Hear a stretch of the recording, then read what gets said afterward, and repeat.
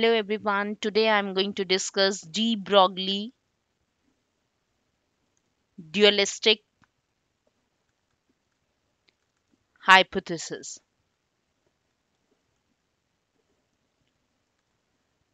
What, what does this hypothesis says? It tells us about the dual nature of matter. Since the radiation has dual nature, dual nature means it possesses properties of both radiation possesses properties of both wave and particle. And this universe is composed of radiation and matter.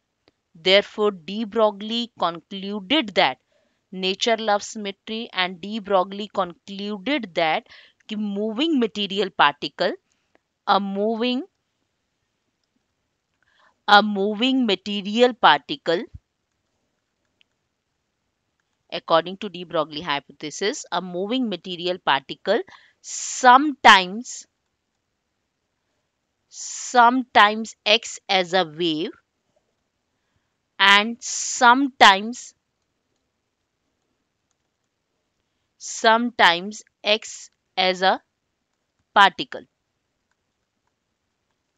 A wave associated with the particle controls the particle or a wave associated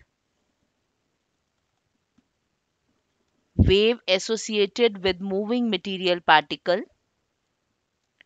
with moving material particle wave associated with moving material particle controls the particle in every respect which controls the particle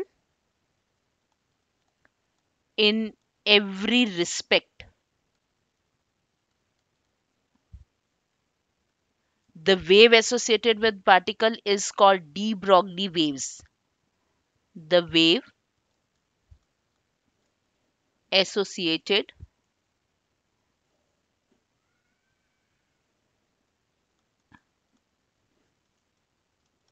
with moving material with moving material particle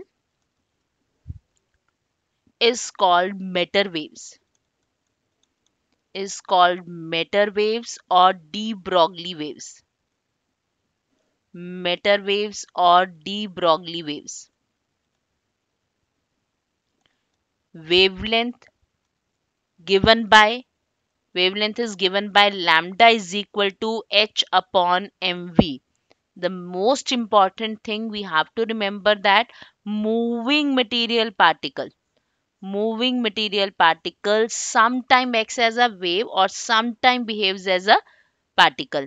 If a particle is at rest means if particle is at rest that is v is equal to 0 lambda is equal to infinite or you can say when lambda is v is infinity then lambda is equal to 0 it means that waves are associated only with the moving material particles. Lambda stands for wavelength h stands for planck's constant m stands for the mass and v stands for the velocity of the particle.